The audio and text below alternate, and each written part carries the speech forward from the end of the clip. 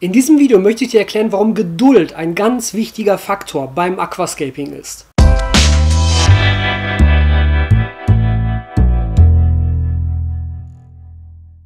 Hey Leute, hier ist wieder Tobi von AquaOwner, dem deutschen Aquascaping Channel. Und in diesem kurzen Video möchte ich dir einmal etwas ganz Wichtiges mitteilen. Und zwar, dass du für die Aquaristik und für das Aquascaping Geduld brauchst. Das ist jetzt so ein bisschen ein Antwortvideo auf einige Kommentare, die ich unter meine Videos bekommen habe. Und zwar möchte ich euch wirklich mit auf den Weg geben, habt Geduld, wenn ihr Parameter an eurem Becken ändert. Ich habe nämlich konkret ein paar Mal den Kommentar bekommen, wo es hieß, ja, ich habe jetzt angefangen mit Düngen oder ich habe jetzt angefangen mit CO2 und zwei Tage später später, ah, ich habe jetzt alles wieder abgerissen, es hat nicht funktioniert, ich habe Algen bekommen, keine Ahnung was. Aber ganz ehrlich, Leute, zwei Tage ist keine Zeitspanne, in der sich ein Biotop wie ein Aquarium wirklich verändern kann und wirklich auf neue Einflüsse einstellen kann. Da müsst ihr dem Becken einfach mehr Zeit geben. Ich habe ja vor ein paar Tagen erst das Video online gestellt, wie sich bei mir mein Becken nach der Estimative Index Düngemethode entwickelt hat. Ich habe es vorher nicht mit Estimative Index gedüngt, habe jetzt wieder angefangen, es mit Estimative Index zu düngen und habe dem Becken einen Monat Monat Zeit gegeben. Und in dem Video sieht man, dass es eine Veränderung gibt. Sie ist aber auch nicht extrem drastisch. Das ist zum Beispiel eine Art der Veränderung, die ich täglich, wenn ich in mein Becken schaue,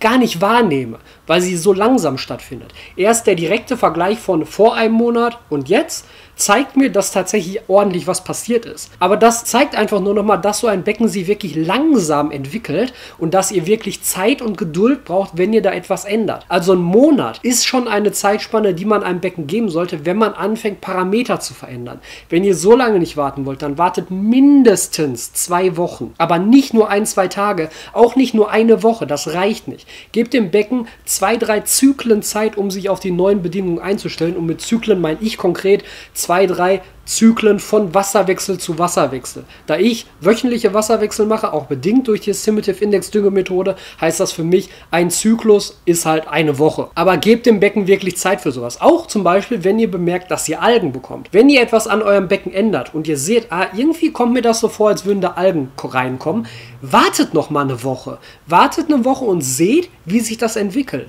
Ist das vielleicht nur ein kurzer Schub, der mit dem nächsten Wasserwechsel wieder abgemildert wird? Oder ist das etwas, was tatsächlich kontinuierlich kontinuierlich steigt. Dann nehmt die Wasserwerte, dann leitet Gegenmaßnahmen ein. Aber lasst dem Becken Zeit, euch auch dieses Feedback zu geben, dass ihr wirklich sehen könnt und wirklich bestimmen könnt, was da los ist. Das Becken braucht diese Zeit, um sich auf neue Bedingungen einzustellen. Wenn ihr zum Beispiel bisher nur Licht und CO2 drin hattet und noch nicht gedüngt habt und ihr fangt jetzt an zu düngen, kann es durchaus sein, dass am Anfang erstmal mehr Algen kommen, weil die Pflanzen in dem Moment die Nährstoffe nicht schnell genug verbrauchen können. Lasst dem Becken aber mal zwei Wochen Zeit. Wenn die Pflanzen dann ebenfalls einen Wachstumsschub bekommen durch den Dünger, sind sie in der Regel wieder im Vorteil und wachsen schneller als die Algen und die Algen gehen von selber wieder zurück. Da müsst ihr nicht nach zwei, drei Tagen schon Panik schieben und versuchen, Gegenmaßnahmen gegen die Algen einzuleiten. Lasst für alles, was ihr an eurem Becken macht, immer ein paar Wochen Zeit, damit das Becken euch zeigen kann, wie es darauf reagiert, damit das Biotop dort euch zeigen kann, wie es darauf reagiert. Das ist ganz, ganz wichtig in der Aquaristik. Das ist nun mal ein Hobby, in dem wir Geduld beweisen müssen. Wir arbeiten hier mit Pflanzen, wir arbeiten hier mit einem kleinen Biotop. Das braucht Zeit um sich ins Gleichgewicht zu bringen. Und jede Veränderung, die wir an diesem Biotop vornehmen, braucht ebenfalls Zeit, um sich durchzusetzen. Wenn ihr eine neue Entwicklung feststellt, gebt dieser Entwicklung auch noch mal ein paar Wochen Zeit, bevor ihr wirklich entscheiden könnt, bevor ihr wirklich wisst, woher kommt diese Entwicklung, was hat diese Entwicklung verursacht und wie kann ich jetzt langsam anfangen dagegen zu gehen. So ein Becken ist nicht nach zwei Tagen hinüber, macht euch da wirklich keine Sorgen drüber. So ein Becken verträgt auch mal eine Woche Algen. Das ist überhaupt kein Thema, aber danach habt ihr die Gewissheit, woher kommt das? Wie kann ich dagegen arbeiten? Und deshalb blende ich euch jetzt hier an dieser Stelle auch nochmal zwei weitere Videos ein, die dich zu diesem Thema weiterbringen können. Einmal ein Video, wie gehe ich gegen Algen vor und einmal das Video, wie dünge ich eigentlich mein Becken richtig und welche Nährstoffe sind sinnvoll. Wenn dir dieses Video gefallen hat, lass ihm bitte einen Daumen nach oben da und vergiss nicht diesen Kanal zu abonnieren, denn dann verpasst du keine weiteren Videos mehr in der Zukunft. Also wir sehen uns jetzt beim nächsten Video wieder. Bis dahin viel Spaß mit eurem Becken und haut rein.